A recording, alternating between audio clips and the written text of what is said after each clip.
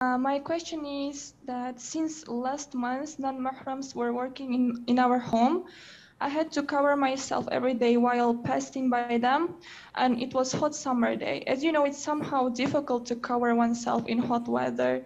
Once, while talking to my husband on the phone, I said, uh, I am fed up with covering myself in hot weather.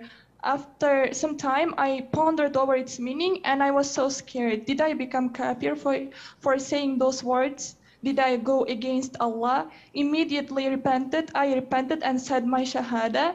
I don't know what to do. After that, I have started questioning and the validity of my marriage as well. Is it still valid? Jazakallah.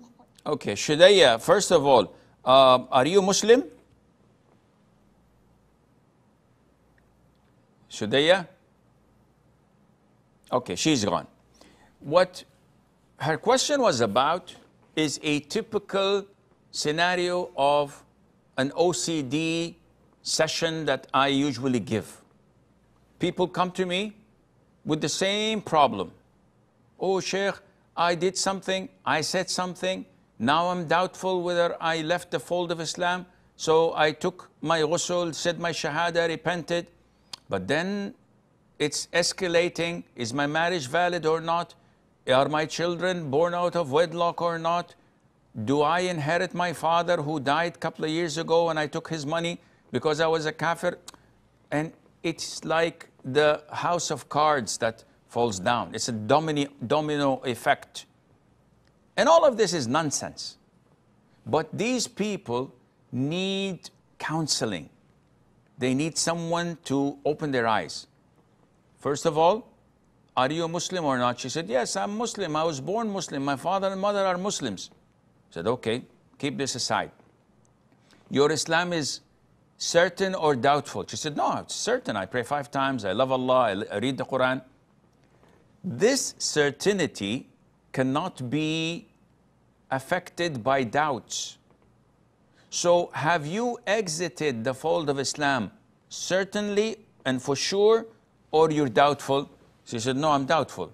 But Sheikh said, Don't but me. As Queen Elizabeth said, But me, no but, or Queen Victoria, who, I don't know. No, this is not what to say. Answer and full stop. But don't go on with the procedure of shaitan. Stop. Your Islam is certain. Doubting whether you exited the fold of Islam or not is doubtful.